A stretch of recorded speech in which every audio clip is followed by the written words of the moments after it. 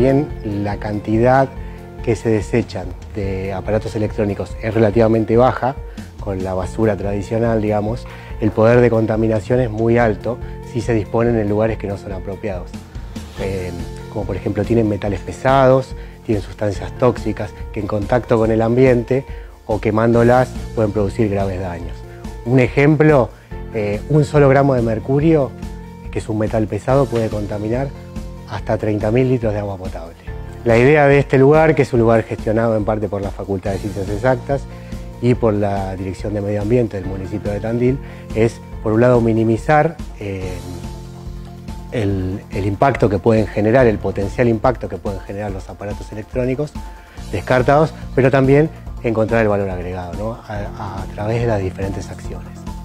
Por ejemplo, de la reutilización de componentes, la reutilización de computadoras. Nosotros trabajamos bajo la filosofía de las tres R, ¿no? reducir, reutilizar y reciclar. Nosotros vemos que lo mejor, digamos, es reutilizar de alguna manera, eh, entonces tratamos de reutilizar primero el aparato electrónico, si no se puede los componentes, si no se pueden los materiales y si no de ahí eh, enviamos al reciclado a empresas específicas que se dedican a eso.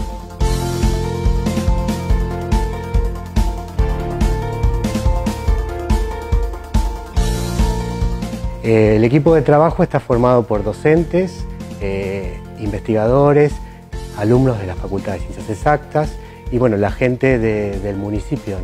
También participan ONGs, ¿no? ONGs y eh, la Cámara Empresaria siempre apoyó desde sus inicios a través de Sabia Quizás somos uno de los pocos municipios en Tandil donde la gente tiene un lugar para dejar los aparatos eléctricos y electrónicos sin costo.